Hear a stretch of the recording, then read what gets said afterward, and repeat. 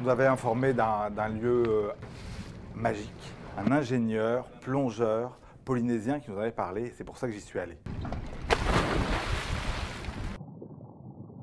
Et quand on y a été, on a plongé, on a découvert effectivement quelque chose dont on n'imaginait absolument pas l'ampleur. On s'est retrouvé avec un récif corallien profond, alors que le récif normalement vit à faible profondeur, qui s'étalait, qui se dessinait sur, euh, sur euh, des centaines de mètres. Et en fait, ça s'est avéré être des, kilomètres. Alors quand on arrive en bas, c'est juste merveilleux. C'est profond d'abord, donc il y a une ambiance, une sorte de, chape biologique en fait qui, protège l'endroit, cette grande profondeur.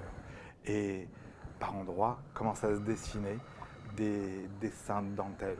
Et en descendant tout doucement vers le, vers le fond de la mer, et eh ben, les roses apparaissent et à perte de vue, ce sont des, des champs de roses. C'est extrêmement euh, émouvant, c'est exceptionnellement délicat, c'est un, monde merveilleux, c'est complètement onirique. Celui de Tahiti, le récif profond, le récif des roses, ou la vallée des mille roses, comme on l'a appelé, il a une particularité, c'est qu'il est profond. Le récif est extrêmement vivant et en excellente santé. On avait une vision très réduite du récif corallien. Et aujourd'hui, avec cette découverte, avec ce projet, on ouvre notre esprit à un autre récif corallien, un récif corallien qui est beaucoup plus grand que celui qu'on imaginait par le passé.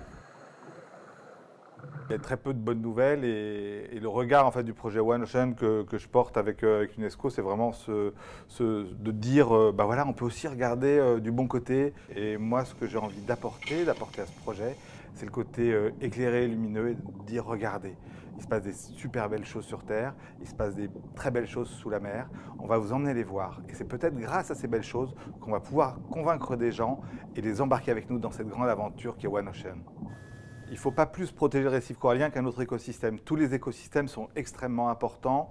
Euh, le récif corallien est particulier parce qu'il va protéger les côtes de l'érosion et des vagues, parce que c'est lui qui va apporter les médicaments de demain et dans lequel on trouve des, petites molécules qui, servent aux anticancéreux, aux antitumoraux. C'est lui qui est la nurserie de l'océan. C'est lui qui nourrit aussi des populations insulaires. Il, il nourrit, il apporte les protéines à ces populations insulaires. Donc le récif corallien il est extrêmement important. Quand quelque chose va bien, c'est toujours un signe d'espoir et il faut vraiment le prendre comme, euh, comme un signe d'espoir. Et il y a de l'espoir. Euh, je pense que c'est en, partageant ces, connaissances, en partageant ces découvertes, qu'on va mobiliser les gens et qu'on arrivera à faire quelque chose. Chacun a un rôle à jouer, euh, de prendre conscience de, son environnement, de travailler sur l'éducation de ses enfants, que les enfants travaillent sur l'éducation des parents, ça c'est essentiel, de faire attention à sa consommation, de faire attention à ses déchets, de, faire attention à, ses voyages aussi. Tout ça rentre en ligne de compte pour la protection d'une meilleure planète, de l'océan et évidemment du récif corallien.